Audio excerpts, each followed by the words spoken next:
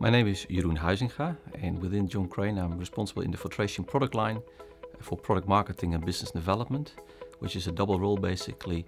Uh, on one side focusing on the products, the trends and the new deliveries and on the other side around the market, the customer base, uh, discovering what is required next and translating that into the business. Filtration quite often is perceived as like a black box. Something goes into a filter and goes out.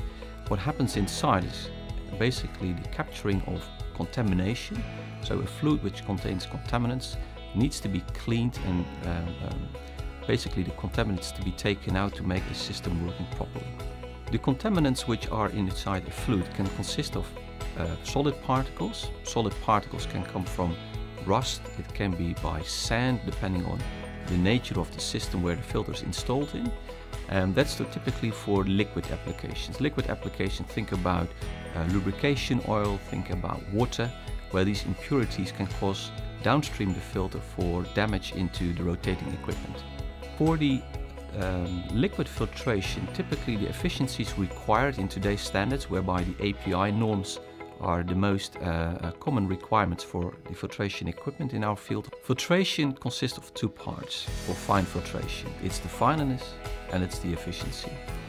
Fine filtration we define typically of uh, uh efficiencies down to the micron level. 3 micron, 5 micron, 10 micron.